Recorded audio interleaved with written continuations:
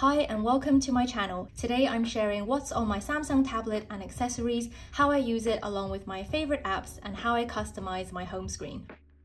I absolutely love my Samsung tablet, so let's get straight into the video. My Samsung tablet is the Galaxy Tab S7 Plus and I got the 128GB storage size. It came together with the S Pen and they're both in this color called Mystic Bronze. For the accessories, I have two tablet cases that I got from Amazon. This one is my favorite and it's also a stand for when I'm typing or watching something. It has a slot for the S Pen but only works without a pen cover. My other case I don't actually use very much. It has a nice cover design but has some functionality issues. I like using a silicone cover on my S Pen for the extra grip when I'm handwriting and it also helps to protect the pen if I drop it. I also have this tablet stand and I use a Bluetooth keyboard when I'm doing a lot of typing. I love to customize my home screen and I'll quickly go through the different widgets I have on here. This is a clock widget and you can set the alarm by tapping on it. I also have a widget showing the current weather and temperature. This habit tracker lets you track your daily habits and I'll talk about this in more detail later in the video. I made this scrollable picture stack using my own pictures from my home screen theme and the quotes are from Pinterest. I also have this to-do list as well as a battery widget and finally the wallpaper and custom icons are also from my home screen theme. Moving on to the apps, my most used app is Penly, which I use for digital planning and note-taking. If you're new to digital planning, this is a hyperlinked PDF file with daily, weekly, monthly pages, and you can write on it with the S Pen and add stickers and photos. The planners are included, but you can import and use any PDF file. Some of my favorite features are handwriting to text, being able to draw shapes, and the sticker panel where you can bulk import images. My channel is all about digital planning, so make sure to subscribe if you're interested in finding out more. You can also create any color note templates directly within the app, which is useful for making aesthetic notes. IBIS Paint is what I use to draw on my Samsung tablet. The interface is not very intuitive, but once you get familiar with the app, it can do a lot of things like working with layers, clipping masks, and the eyedropper tool. There's a wide range of brushes, although I personally haven't managed to get the stabilizer to work, so my lines don't come out as smooth as I would like them to. Another drawing app that I have used and like is Infinite Painter, which has a nicer user interface in my opinion. I've been trying to read more books recently and Moon Reader is a good ebook reader app. I love the visual elements like the bookshelf and the page flip animations and there's so many customization options for the page background and font and you can even create your own background using any image. There's a ton of features like dark mode, bookmarks and search and it's really easy to download free books from the web. Then I have a Zen Flip clock, which is a clock as well as a Pomodoro timer. I like to use it in pop-up window mode so you can see the timer in the corner of your screen at the same time when you're working on something else. For keyboard customization, I have SwiftKey keyboard. There's a range of different themes and you can also create your own using any background image. Pentastic is a useful customization app for the S Pen. You can change your pointer to a heart or a cute animal or even custom make your own. You can also use Pentastic to change the double tap shortcut which opens up a notes page by default. I changed mine to open up Penly instead of Samsung Notes just because that's my preferred note-taking app. There's also some different designs for the Air Command panel if you want to customize that.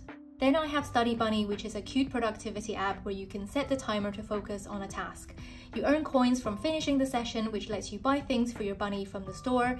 You can add a color tag and name each session with whatever subject or task you are doing, and the app will show you an overview of how you have been spending your time. There's also a section for your to-do list and flashcards. I was looking for a coloring app and I think PenUp is pretty good. There's a huge variety of images to color in and you can use the brush tools which give you more creative freedom or you can use the paint fill bucket which colors in an entire area. The color palette lets you pick any color and you can also browse through other people's artworks for inspiration. I use Adobe Scan for scanning physical notes and papers and it automatically brightens up your scan, but you can also make adjustments yourself. I love positive affirmations and I have this widgets app called I Am. You select the areas that you'd like to improve, like stress and anxiety or positive thinking, and the app will automatically give you a new affirmation every day. There's lots of different widget themes and also a section for daily freebies. I use this background eraser app for removing the background from photos before I add them to my digital planner or journal. It works well on some photos and not others, but there is an option to manually edit the photo if it doesn't come out looking right. I prefer using my digital planner, but TickTick app is good if you just need a simple to-do list. You can add a checklist within a task and also add images. I love the home screen widgets and you can make them semi-transparent to match your wallpaper. The to-do list widget allows you to add and tick off tasks easily directly on the home screen, and you can also tick off daily habits using the habit tracker widget. I usually use my digital journal, but an alternative way to journal is using a mood tracker app like MoodPress. This lets you track your daily mood and activities. You can journal on the daily page, select what activities you did on that day, and also add in photos. You can then see an overview of your mood and activities over the entire period. Another useful app is One Hand Operation. This gives you handles on either side of your tablet and you can customize what it does when you swipe on it in different directions. I set mine to take a screenshot because I find that a lot more convenient than holding down the tablet buttons.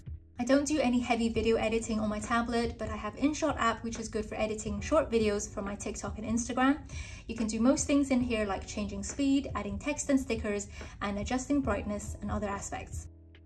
I already mentioned the Pixel Clock app for the clock widget on my home screen and the picture stack was made using Simple Photo widget. It's easy to use and you just select any image from your photo album and choose the widget shape.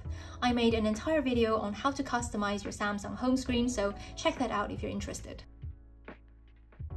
I've been trying to practice meditation and I have this app called Medito which has guided meditations and audio tracks for things like gratitude and mindfulness. And there's also a meditation timer with relaxing sounds. I like that it plays in the background so you can use other apps and listen to the courses at the same time. I was using the default calculator app and then I found this other calculator that also includes a bunch of useful features like currency conversion, BMI calculator, and tools for things like cooking and clothing measurement. I also have a similar app called Smart Tools and this has a torch as well as a screen light that you can customize into different colors. For photo editing, I have Snapseed and you can adjust different aspects like brightness and saturation and add text over the top. There's lots of different filters and effects and it's fairly intuitive and easy to use. Another useful tool is Cut Paste Photo. It lets you freehand crop images, which I like to do for digital planning and journaling.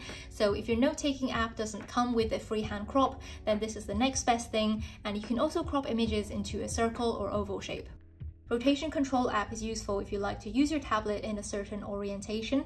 I prefer landscape mode, but a lot of apps are designed to be used on a phone, so they come in portrait, and this app lets you set the orientation so you don't have to keep rotating your tablet to use different apps.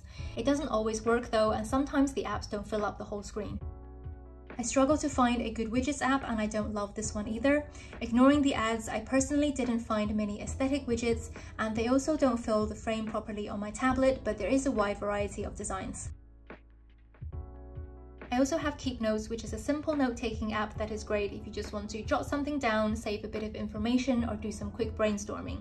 You can add images and create to-do lists, and it's easy to see all your notes at a glance, and there's also the functionality to set an alarm.